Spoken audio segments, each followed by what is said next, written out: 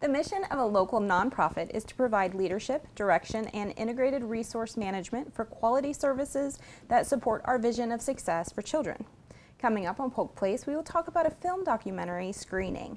Make sure you stick around. Welcome to Polk Place. I'm your host, Tina Mann. Joining me in the studio today is Danielle Harvey, the preschool instructor with Miss Adele's Learning Center. Dr. Mark Hutek, CEO with the Early Learning Coalition of Polk County. And last but not least, Belinda Kramer, the marketing manager with the Early Learning Coalition as well. Welcome. Thank you for Hi, having us. Thank you for having us. So I got an opportunity to, to watch this film trailer that you guys are bringing here, but I want to start with just giving a little brief overview of Early Learning Coalitions for the people who may have never heard of you. So why don't you tell us about what you do? Okay, well, the Early Learning Coalition is an organization in Polk County that is funded primarily through the Florida Department of Education, um, the Office of Early Learning, and what we do is primarily two major programs. We work with supporting what we call school readiness. That's where we take parents that are living in a, a set income bracket Usually it's at that 150% poverty level or less. And we help supplement their child care services. So what we do is, is we contract with about 350 of the um, child care providers in Polk County. And at, uh, at the end of the month, in a sense, we pretty much pay a subsidy to that child care provider on behalf of the parents that bring their children. As long as the parents are enrolled in school and or uh, having a job, then they can potentially qualify for our services. And, and a perfect example would be that maybe a, a, a, family that qualifies for say 90 or 95% child care, at the end of the month they would pay 10%, we would pay 90%. Nice. Uh, so that's one. And then of course the, our second major program is, is we support and sponsor the VPK, the voluntary pre-kindergarten programs. You know, and that's a, that's a one-year program prior to school beginning uh, for a child in, in kindergarten where they come for 540 hours of instruction in, in reading and numeracy, literacy skills uh, to prepare them for kindergarten. And that's entitled to, to all four-year-olds and potentially some five-year-olds in the, in the county, and that's what we do. That's excellent. And all of this plays directly into this film that you guys are going to be screening at the um, Polk Theater for free. So why don't you tell us a little bit about this film and why it's important? Well, I want to say, first of all, this documentary is like no other documentary that you've seen about early childhood development. It is beautifully done. It's very emotional, I will warn you. Has a few little tear-jerking parts, but it's beautiful because it does show the importance of the early learning that we need to have in this country. Only 3% of our national budget goes to early childhood development funding, and there's just something wrong with that. So it's like a wake-up call. It's a must-see film that you've got to see. And I don't think you'll be disappointed. You'll see parents portrayed with a real situation of how hard it is to raise children nowadays. You see a particular teacher, Rachel, and we have an example of a wonderful teacher with us today with Danielle here from, from Polk County. But in the film, you go into her classroom, you see some of the methods of, of teaching that she uses and how critical this is because the first three years of a child's life, that's the window of time. 85% of that brain development is there. So the film really goes into all those areas and how it's just so urgent that we all discuss this and have it at the top of agendas. And I'm so excited that our state representative, Melony Bell, is going to be attending to speak with Mark. Mm -hmm at the conclusion of the film. It's only 70 minutes long in a beautiful venue, so we think that everybody should come out to it. It's a wonderful community event that you shouldn't miss. Excellent. Well, I know before the show started, you were kind of going into like the, you know, the main points of this film. Can you go over that with everybody? Yes. So one of the uh, the biggest um, eye openers for someone like me in leading a coalition is is to understand that early childhood development oftentimes is, is unspoken. And the ramifications of what occurs to a, a child through a lifetime um, oftentimes doesn't become a topic of conversation. So the great part about this film is is it, it talks a little bit about how relevant it is for what children need to learn with an understanding that when children are born in a sense, they're almost born with a toolbox, but they don't really have the tools in it. And this film is very clear in explaining what happens to a child through those early years, through what occurs in the social, emotional, cognitive development, so that when they do go to school, become pre adolescent, move into adulthood, what those ramifications are. And it's interesting because, you know, I, I, often tell folks when it comes to early childhood development, you know, you wouldn't send a builder out to build a house without a toolbox, right? Yet, that's what happens when, in many cases, children are sent out to the world, you know, when they leave their home during that, that early age to go to school. They're, they're really not prepared. They don't have the tools to deal with what needs to happen. But I think the brilliant um, the brilliant piece of this particular movie is is that not only will it tell us about that brain development and get a clear understanding of what we've learned in in the relevance, but you know you, you you come back to what it means to a return on investment in a community and what does it mean further down the road and what the costs attributed to children that don't get what they need at childhood. What does that look like when they become a little bit older? And then the movie circles back into you know, what is it that creates a priority for our society and, and are we really putting in?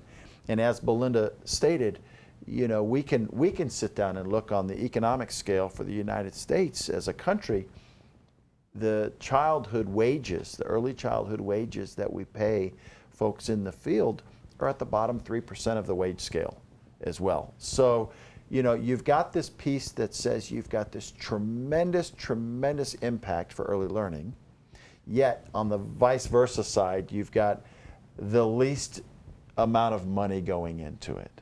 And I think that's what the brilliance is of this film. This film very clearly depicts that it's probably the most important thing that we could all do, yet it's probably the least supported of, of things that this country puts in a, a vested interest in.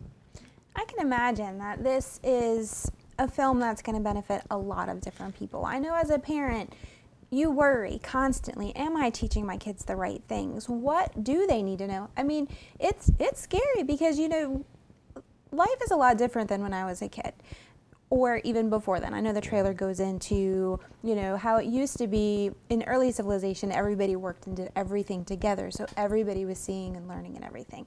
But now we're so busy where, you know, everybody's working, everybody's trying to get to activities, and sometimes us as parents focus on the wrong things.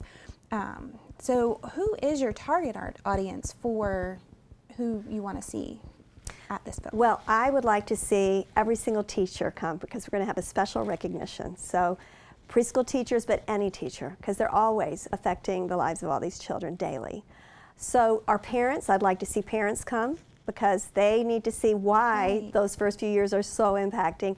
Every single community member, government leaders and officials, please come because we need your help with, like I said, the agendas, get that up there. We need the funding, but we need every single community member involved because they're all in this circle around the child.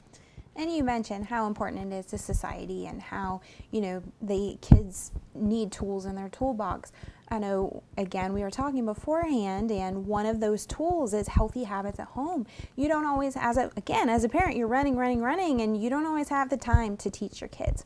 But you're doing something about that. So, why don't you mm-hmm. tell us about your experience? So, this year we had an opportunity to do a COP with the Early Learning Coalition in Nemours, and they did a healthy habits. They wanted us to try to get our students to eat more healthy foods and want to be more active outside because a lot of kids nowadays and parents right. it's easy to stick your kid in front of a TV, a phone monitor, and not Some really engage. Food. Yeah, fast food, and not really engage them in outside activities, or sit down with them and eat with them and teach them. So, whenever we did our Healthy Habits Co-op, I took from that that I should try to change my lifestyle. I'm with these kids more than their parents are usually. They drop them off early in the morning and pick mm -hmm. them up on their way home.